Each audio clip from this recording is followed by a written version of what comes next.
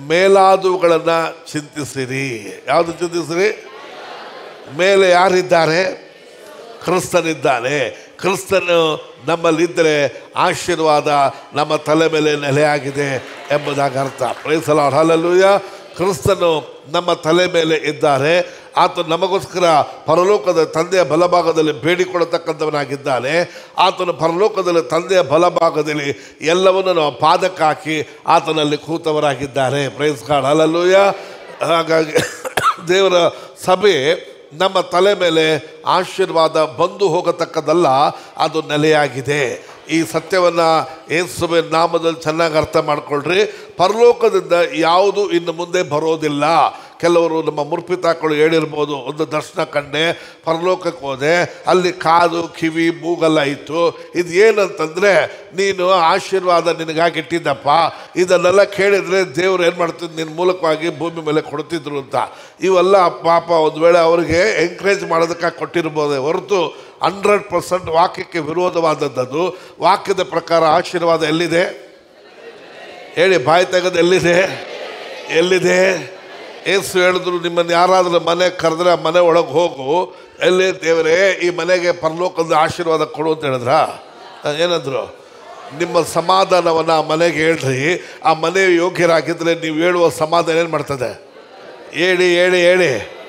ಇಲ್ಲದಿದ್ದರೆ ವಾಪಸ್ ಅಲ್ಲಿ ಬರ್ತದೆ. ಸರ್, ಬೈಬಲ್ ಹೇಳ್ತದೆ, ನಂಬುವವರಿಂದ ಈ ಸೂಚಕ ಕಾರ್ಯಗಳು ಆಗುವುದು. ಯಾರೆಲ್ಲ ಸ್ವಾಮಿ ನಂಬ್ತಿರೋ, ಅವರ ಮೂಲಕವಾಗಿ ಈ ಸೂಚಕ ಕಾರ್ಯಗಳು ಆಗುವುದು. ದೆವ್ವಗಳನ್ನೇನು ಮಾಡೋರು? ಹೇಳಿ ಹೇಳಿ ಹೇಳಿ. The presence of God calm ಅಂತ ಕರಿಬೇಕಾ? ದ ಪ್ರೆಸೆನ್ಸ್ ಆಫ್ ಗಾಡ್ ನಮ್ಮ ಮೇಲೆ ಇದೆಯಾ? ಹಾಗಾಗಿ ದೆವ್ವಗಳು ಏನು ಮಾಡ್ತವೆ? ಯೇಸುವಿನ ನಾಮದಲ್ಲಿ ಓಡಿಸುವ ಅಧಿಕಾರ ಎಲ್ಲಿದೆ? ಪರಲೋಕದಲ್ಲಿದೆಯಾ? ನನ್ನ ತಲೆ ಮೇಲೆ ಇದೆಯಾ? ವ್ಯಾಧಿಯಸ್ಥರ ಮೇಲೆ ಕೈ ಇಟ್ಟು, ದೇವರೇ ಪರಲೋಕದಿಂದ ದೈವಿಕ ಸುಖ ಕಳಿಸು ಅಂತ ಹೇಳ್ಬೇಕಾ? ಯಾವ ಮೇಲೆ ಕೈ ಇಟ್ಟಾಗ ಸ್ವಸ್ಥವಾಗ್ತಾರ? ಆಗ ದೈವಿಕ ಸುಖ ಎಲ್ಲಿ ಐತೆ? ನನ್ನ ತಲೆ ಮೇಲೆ ಐತೆ. ಪ್ರೈಸ್ ಕಾರ್ಡ್ ಹಲಲೂಯ ಅರ್ಥ ಆಯ್ತದ ಹೇಳುವಂಥದ್ದು? ಇದು ಸತ್ಯ. ನಾನು ಹೇಳತಕ್ಕಂಥದ್ದು ಕಥೆಗಳಲ್ಲ, ಇದು ಸತ್ಯ. ಏಸು ಹೇಳಿದ್ರು, ಯಾರಾದರೂ ನಿಮ್ಮನ್ನು ಮನೆಗೆ ಕಲಿಯುವಾಗ ಆ ಮನೇನ ನೀನು ಶಲೋಮ್ ಅಂತ ಏನು ಮಾಡ್ರಿ? ಆಶೀರ್ವಾದ ಮಾಡಿರಿ. ಆ ಮನೆಯವರು ಯೋಗ್ಯರಾಗಿದ್ದರೆ ನೀವು ಹೇಳುವ ಶುಭ. ಯಾರು ಹೇಳುವ ಶುಭ? ಅಲ್ಲಿ ಏನಾಗ್ತದೆ? ಉಳ್ಕೊತದೆ. ಆ ಮನೆಯವರು ಯೋಗ್ಯರಾಗಿದೆ ಇಲ್ಲದಿದ್ದರೆ ಎಲ್ಲಿ ಬರ್ತದೆ? ನೀನು ಹೇಳಿದ್ದು ಎಲ್ಲೂ ಹೋಗ್ಬಿಡೋದಲ್ಲ. ವಾಪಸ್ ನಿನ್ನ ತಲನೇ ಬರತಕ್ಕದಾಗಿದೆ. ಹಾಗಾದರೆ ಎಲ್ಲವೂ ಎಲ್ಲಿದೆ? ಆಮೇನ್. ಎಲ್ಲಿದೆಪ್ಪ ಆತನು ಐಶ್ವರ್ಯವಂತನಾಗಿದ್ದರು ನಮಗೋಸ್ಕರ ದರಿದ್ರದಲ್ಲಿ ಸೇರಿದ್ರಿಂದ ನಮ್ಮ ದರಿದ್ರವನ್ನು ತಾನು ಹೊತ್ತುಕೊಂಡು ಆತನ ಐಶ್ವರ್ಯದಿಂದ ನಮ್ಮನ್ನು ಆಶೀರ್ವದಿಸಿದ್ದಾರ?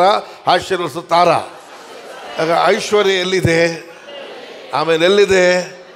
ಕ್ರಿಸ್ತನೆಲ್ಲಿದ್ದಾರೆ ನನಗೆ ತಲೆಯಾಗಿದ್ದಾರೆ ಎಲ್ಲ ಹೇಳಿದ್ರೆ ಕ್ರಿಸ್ತನೆಲ್ಲಿದ್ದಾರೆ ನನಗೆ ತಲೆಯಾಗಿದ್ದಾರೆ ನಾನು ನೀತಿವಂತನಾಗಿದ್ದೇನೆ. ಆದ ಕಾರಣ ಐಶ್ವರ್ಯ ಎಲ್ಲಿದೆ?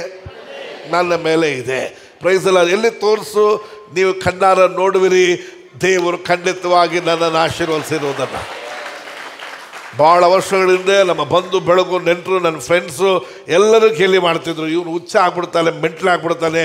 ಲೂಸ್ ಅನ್ಬೇಕು ಹೀಗೆ ಹೇಳ್ಕೊಂಡು ಹೇಳ್ಕೊಂಡು, ಲೂಸ್ ಆಗ್ತಾನೆ ಅಂತ, ಲೂಸ್ ಆಗಿರೋದು ಅವರು. ನಾನೀಗ ಟೈಟ್ ಆಗಿ ನಿಂತಿದ್ದೇನೆ. ಅಲ್ಲೆಲ್ಲೂಯ ಫ್ರೆಂಡ್ಸ್ ಕಾರ್ಡ್ ಹಾಗಾಗಿ ನಾನು ಸ್ವಲ್ಪ ಲೇಟ್ ಆಯಿತು. ಯಾಕಂತಂದರೆ ನನಗೆ ವಾಕ್ಯದ ಆಧಾರದ ಮೇಲೆ ಬ್ಲಸ್ ಆಗಬೇಕು ನನ್ನ ಆಸೆ ಆಗಿತ್ತು. ಈಗ ವಾಕ್ಯದ ಆಧಾರದ ಮೇಲೆ ಇರೋದ್ರಿಂದ ನನಗೆ ಯಾವ ಕೊರತೆ ಇಲ್ಲ. ಕರ್ತನ ನನಗೆ ಕುರುಬನಾಗಿರೋದ್ರಿಂದ. ಫಸ್ಟ್ ಆತನ ನಮಗೇನಾಗಿ ಇದ್ದರೋ ಅದಾಗಿದ್ರೆ ನಮಗೇನಿಲ್ಲ? ಯಾವ ಕೊರತೆ ಇಲ್ಲ. ಕೆಲವರು ಆಶೀರ್ವಾದವನ್ನು ಹಿಡ್ಕೊಂತಾರೆ. ಫಸ್ಟ್ ಆಗಿರೋರನ್ನ ಬಿಟ್ಟುಬಿಡ್ತಾರೆ ಯಾವಾಗ ಆಶೀರ್ವಾದ ಬೇಕೋ ಆವಾಗ ಚರ್ಚಿಗೆ ಬರೋದು, ಯಾವಾಗ ಆಶೀರ್ವಾದ ಬೇಕೋ ತಲೆ ಕೊಡೋದು, ಯಾವಾಗ ಆಶೀರ್ವಾದ ಬೇಕೋ ಪ್ರಾರ್ಥನೆ ಮಾಡೋದು, ಯಾವಾಗ ಆಶೀರ್ವಾದ ಬೇಕೋ ಬೈಬಲ್ ಓದೋದು, ಇಂಥ ನಾಟಕಗಳನ್ನು ಮಾಡೋದನ್ನು ಬಿಟ್ಟು ನಾವು ನಮ್ಮ ಲೈಫಲ್ಲಿ ಫಸ್ಟ್ ಯಾರಾಗಿರಬೇಕು?